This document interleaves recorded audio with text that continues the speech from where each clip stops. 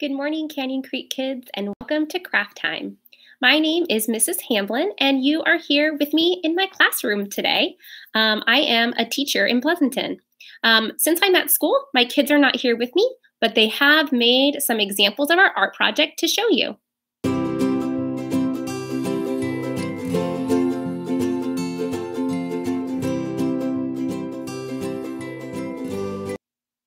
To start this project, you are going to need a piece of paper, some coins,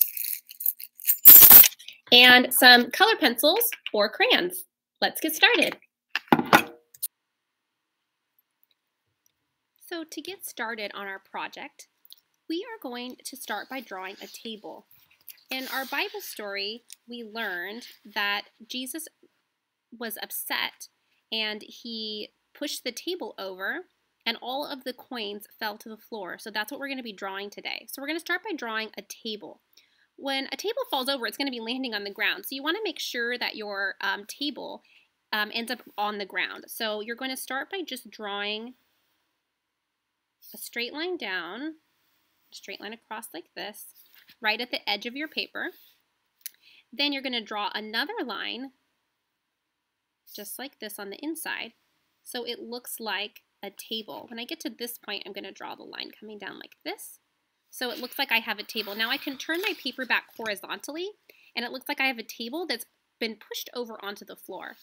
At the top of the paper, I'm going to write the words Jesus honors God. Now, I have my title at the top, I have my table over here, and then I'm going to get to take my coins.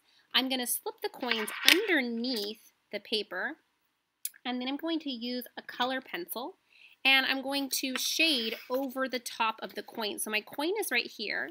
I'm going to hold it steady, and I'm going to color right on top of it, and it will actually make the coin appear. Now we discovered that if you use colors like orange, bright blue, bright green, they work the best for making the coin appear. If you use darker colors, um, like brown or dark blue, it doesn't quite work as well. So I'm going to do another one here. I'm going to slide another one underneath the paper. It also helps when you're coloring it that you don't push right down on it like this really hard, but that you kind of put your um, pencil to the side and you color on the side and you can see and this one's coming out really great.